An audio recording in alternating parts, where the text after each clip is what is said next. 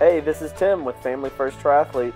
I'm glad you are striving to improve as a triathlete, and I'm here to help you get a little closer to your goals. This is the quick video analysis for Ellie.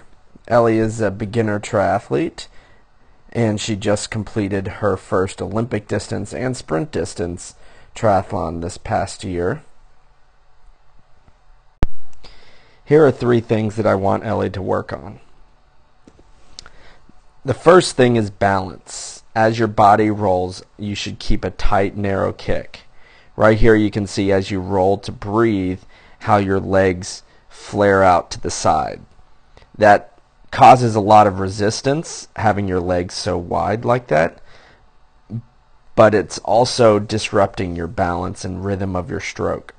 So keeping a narrow kick as you roll even from side to side is key. And there's a lot of drills that you can do to practice that. The second thing to work on is to keep your head in a neutral position.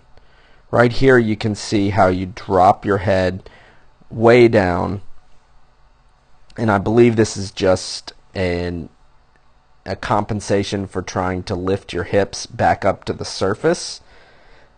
So you drop your head down, but you submarine it down too far. Instead of pushing down through your head, I would suggest pushing down through your armpit and chest area. So push down here in order to get your hips up instead of at your head leave your head in a neutral position.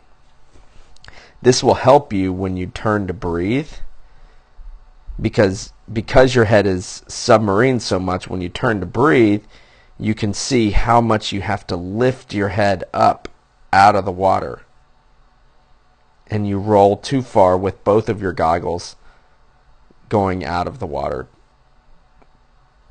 this upward lift now has caused a upward body angle in the water. The last thing to focus on is your pull. And if you watch your pull, the first part of your pull is a downward press, and a lot of times that's to get your head out of the water. So your hand enters and then it presses downward, presses downward to get your hand out of the water. That press does not help you go forward. It's only till your hand starts to pass underneath you that you start to get any type of forward propulsion or grip on the water. Ideally, what we would want is for this hand to sweep down into a catch position where you can grip the water and get your forearm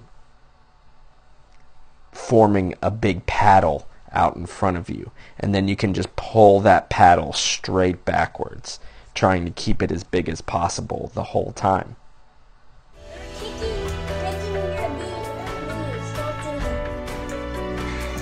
What's he doing? Oh, don't bend your knees. Who can just do them straight?